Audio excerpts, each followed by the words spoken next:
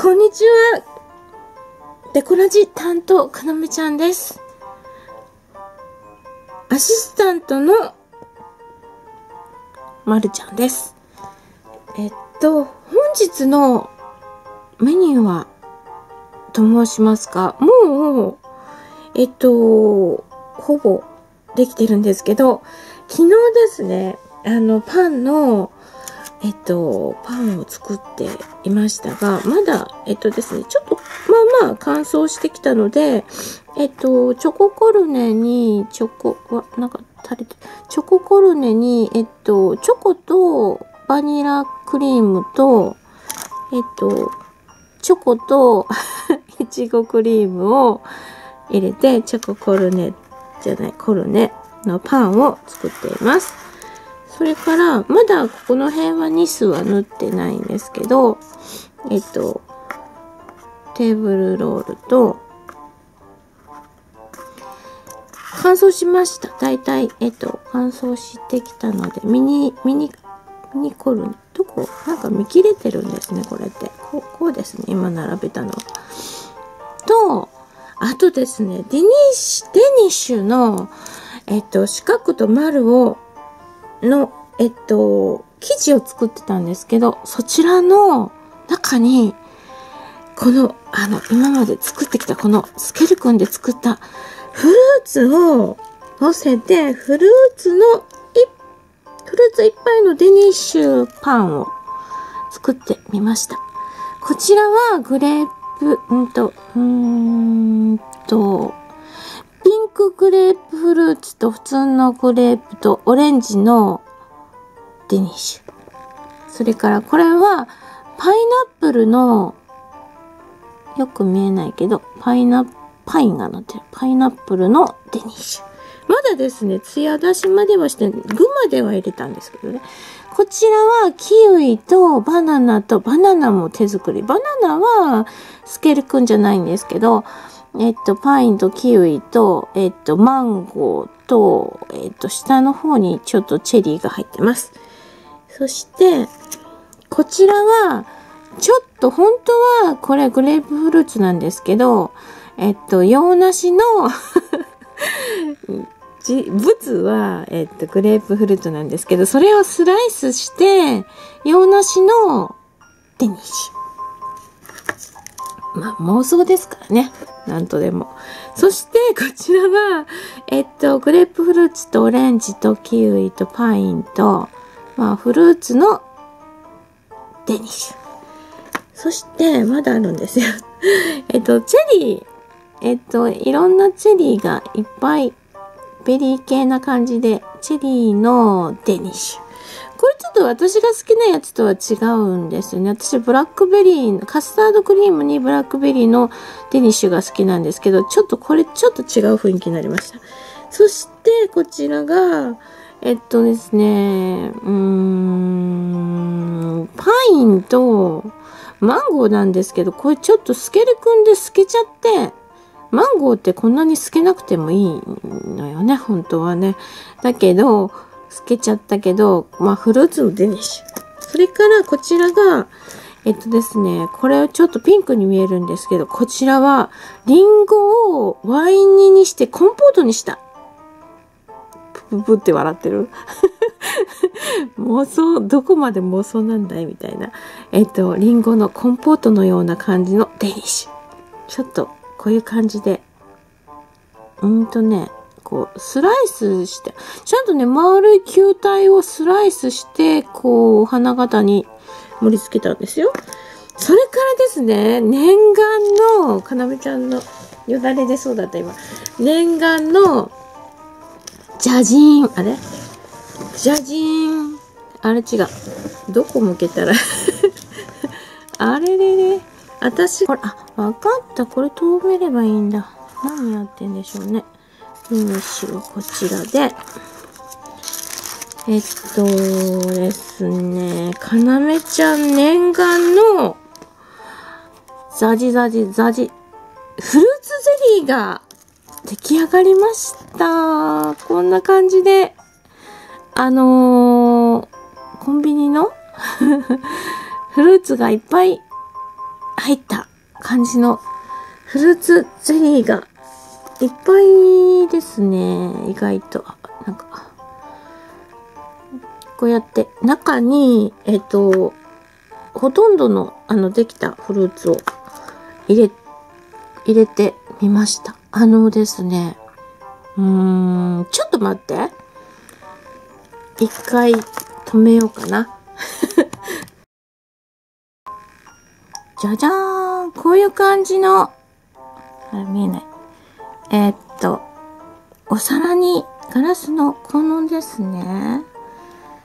こういう感じの、この、パカーン。ちょっと、あの、バイキングとかに出てきそうな感じのお皿に乗せて、えっと、ゼリーと、ゼリーと、このお花型の、本当はこれちょっとマカロン型なんですけど、シリコン型だったので、そちらにちょっと流し込んで、ハートのゼリー。それから、これは、えっと、瓶にギュギュギュギュギュッとフルーツを詰め込んだゼリーですね。どっちがこっちが表だった。こっちが表だった。気泡がちょっと入っちゃったけど。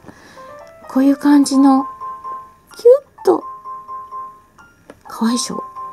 こういう感じで、スケル君で作った、自分の作ったフルーツを閉じ込めてみました。こういう感じで、キラキラ、キラキラしています。とっても嬉しいです。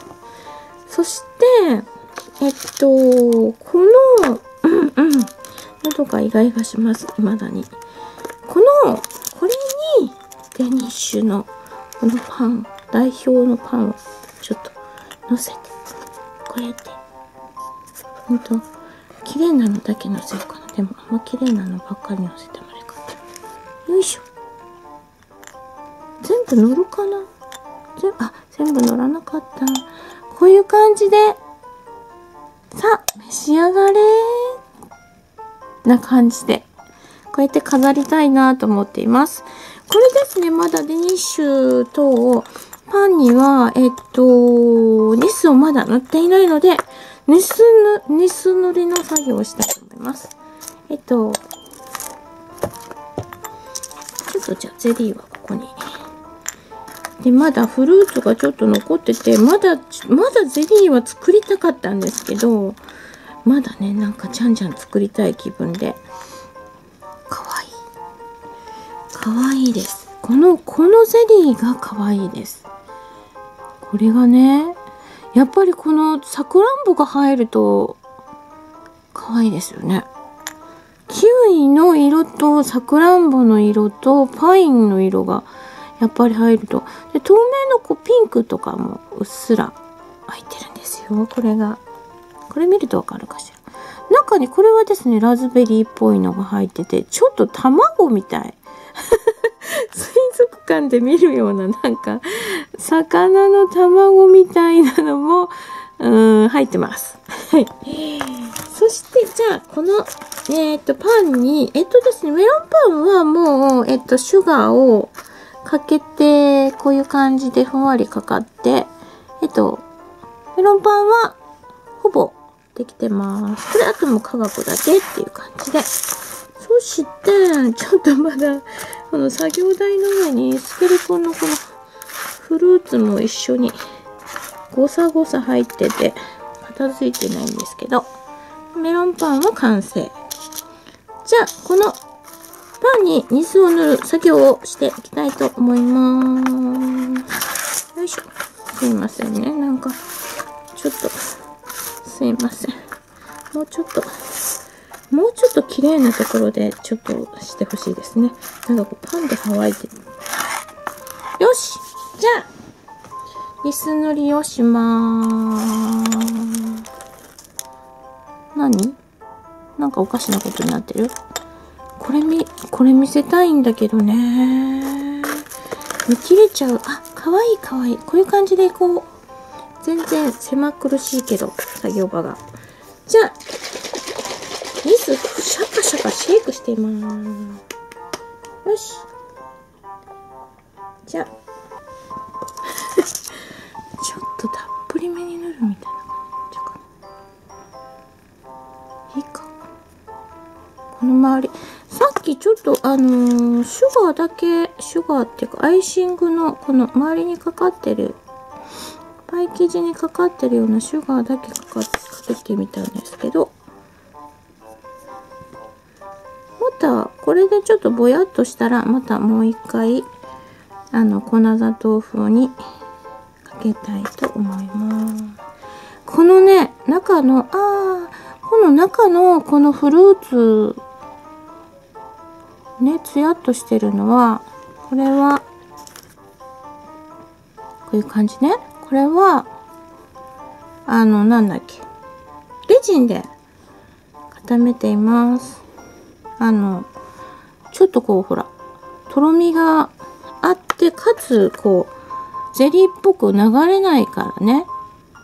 こういう感じで、こう、ほら、横から見たら立体感で、フルーツのこうなんか、ツヤっと感とゼリー感とが同時に出るので、これはなかなかニスだけではそういう作業はできないし、あのー、なんだっけ、セメダインとかもあるけど、手っ取り早いです。もう、あの、配置がこうずれ、こうなんかさ、崩れる前に、あの盛り付けてとろそのレジン液かけてはって UV、えー、ランプに入れるとこういう感じでこうなんかこうバランスがいい感じに。これパイナップルです。そしてこのなんかこうシンプルクロワッサンこれも、えっと、2回ぐらいニス塗りたいかな。スケルコンのこれ、これ普通の、普通の塗っていいのかな。これ自分方式で、あの、袋かけたやつです。あの、こういう感じで、自分で、まだもうちょっと、あの、乾いてないのに盗んちゃった。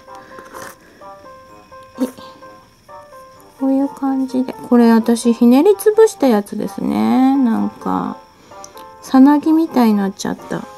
本当に、なんかが生まれてきそうでしょ。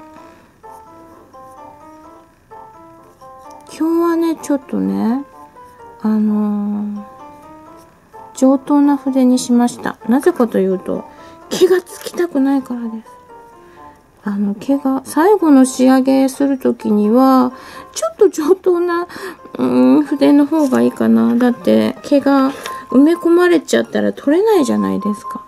ニスの中にさ、黒い毛入ると取れないでしょだそこだけペコってさ、なんか色も一緒に剥げたりするので、最後の仕上げはちょっと上等な筆で、あの、もう、ここが仕上げって感じ。なのでちょっと上等な毛が絶対抜けませんみたいな。筆で最後はね。あとの途中のなんかこうどうでもいいような作業は毛が抜けてもいいような筆で。ちょちょっとなんかねいっぱいフルーツもあるし、このさっきメロンパンにお砂糖かけたやつがいっぱいね、散乱してるんですよね。これなんかニス出したのが残残りそうだからニスかけてないやつにニスがけしようかな。今まで色まで塗ったけどニスは塗っていませんみたいなやつに。よし、これはテーブルロール。ちょっとバターたっぷりで卵もたっぷり塗ってつやっと焼いた。みたいなこれはチョコ。チョコ入りですね。もうとうとう爪剥がしました。もう諦めました。なんかね次々剥がれてきちゃって悲しいことに。もう一回ちょっと今日やり直そうかなと思ったけどレジンのランプ出したけど結局こっちのこっちの方が楽しくなっちゃって。あのこういうレジのゼリー固める方が楽しくなっちゃって、これに費やしてたら、自分の爪よりこっちの方が楽しかった。これ、もっとぎゅうぎゅうにフルーツ詰めようかなと思って、今度。これ、あの、フルーツの瓶詰めみたいな感じで、これちょっとゼリー状の、ゼリー分が多かったけど、これですね、厚みがあんまりないので、なんかフルーツぎゅうぎゅうにしても、の、なんていうの？瓶の中に入ってるっていう感じで、瓶にいろいろ喋ってもね。そういう感じ。なので、もうちょっとこう、深い瓶だと、もっとぎゅうぎゅうにフルーツが、あの、フルーツのシロップの瓶詰めみたいな感じで、これ。終わった？もうなっちゃった。早いな、なんか。な、裏までちょっと。裏まで。これちょっと、あの、なんか、ピザ、ピザっぽく。でもこれパン屋さんの、ケーキ屋さんじゃなくてパン屋さんの、あの、テニッシュなので、パンが、パン生地、なんかこう、なんていうの？お菓子生地じゃなくて、こう、パン生地パイみたいな、感じですかね。べ応えがあるような、パン、パンの多さ。で、よっしゃこれちょっとさ焦げ目つけすぎたのが、こう、こうちょっとこれで剥がそう。よし、できたぞできたぞよいしょ。全然映ってないぞ、できたのが。